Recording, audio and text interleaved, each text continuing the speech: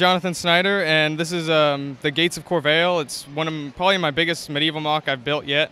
Um, it was for like a uh, my own little storyline for uh, two certain empires. Um, this one's basically just depicting the biggest city, the gates outside uh, of the city, and we have some people coming out from a uh, raid, a small raid. We have some people inside getting ready to do some uh, larger battle, and then we have some guys down here getting ready to. Uh, they're kind of like spying, I guess. Um, I wanted to, because I was building it during the fall. I wanted to more or less get some nice fall colors. Um, so I have a nice uh, orange tree losing its leaves, that kind of thing. Pumpkins, different color trees, so a nice, nice large variety of stuff. Um, guy with the carrots down here. Yeah, yeah. So I didn't know what to do because I didn't have too much of a farm, just pumpkins. So I thought carrots would be a nice little addition. I don't know if chickens eat carrots or not, but you know, I was thinking maybe. I mean, it's medieval times; they'll let them eat whatever.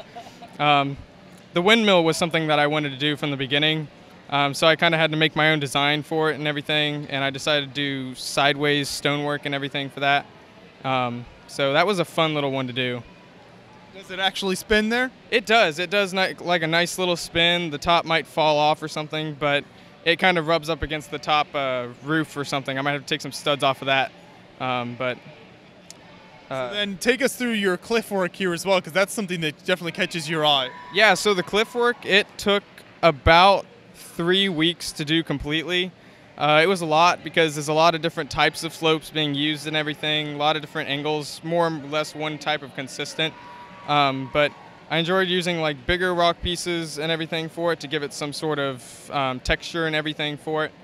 Um, but it was a long time for that, and you kind of get tired of it after a while because three weeks of building rock work solely is kind of kind of rough and tiring. So it's like a little mind numbing or something. Oh, yeah, I felt like quitting for a little bit just because do I really want to do more rock work? And it was very much so a test of my endurance for that. So. I appreciate the the color differences there, light and dark gray. I think that definitely helps, you know, add a little variation to it. Um, I want to do that because I've seen Mark Falworth do that as well, and he's kind of like my men- mentor. So uh, I felt like it would give some sort of good texturing as well for it, um, some sort of weathering maybe. Um, but I thought it turned out nicely. I had never done it yet before, so. And then we can move back to the sort of castle wall here, and I love what you've done with the the windows to create that cross shape with like the cheese slopes. I think that's such a great yeah. technique.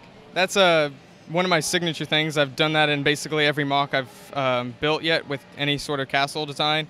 Um, I like doing the little crenulations or something, um, the arches along the wall to give the wall, wall a bit of texture because usually it's just like a bit blank and uh, just straight.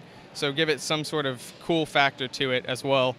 Um, then the towers, there's four of them. So like since it's up on top of a hill, um, the archers, when they're getting raided, they'll be able to shoot down on them and everything so that it's more of a strategic position to defend. So Yeah. and then it almost looks like you could add on to this build on each end and just keep expanding it. Would you yeah. plan to do that? I could, and maybe. I mean, this thing will be up for a long time because I got to take it to other conventions and everything. So that's actually a really good idea that I never actually thought of. So I might have to do that now because of that. But it's definitely able to be expanded for sure. And so, because everything comes apart and everything, so I can easily just do that and make it bigger and better every year. Maybe next year I can have it twice as the size or something like that.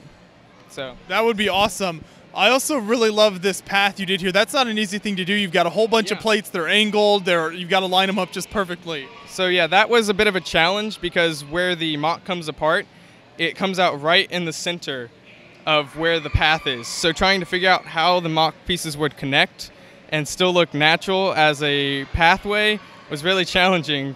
Um, so, but I thought it turned out pretty nice and everything. So. Uh, yeah. What is the, the inside of sort of your cliffs, mountains here like as, as you built these up? So along the rock work and everything, it's about basically filler brick just to create it sturdy so that it doesn't fall apart or anything as it's being transported. But for the majority of it, it's just hollowed, and as it gets further to the top, it's plates underneath that I can make the uh, top landscaping for and everything. Were there any other details behind the wall there that you wanted to point out? Behind the wall, there isn't really much. Um, it's mostly just like um, terrain and everything, dark tans, that kind of thing. I didn't want to put too much behind the walls because that wouldn't make too much sense in my opinion. Um, But I was planning on making something, but I decided not to, something like a horse stable or something. But I decided not to go with that, and just and just put like a bunch of other guys getting ready for something, some sort of battle or something. So. Sure, it's some excellent work here, and yeah, it feels very peaceful, especially when you look at it from the front. It's just a few guys moving through, no big battle, so it's a very nice, calm effect you've got going on here. Yeah, it's a nice, peaceful time for the Empire, even though they're pretty much hated by everybody. so. Well, great work. Uh, thank you so much. Yeah, thank you.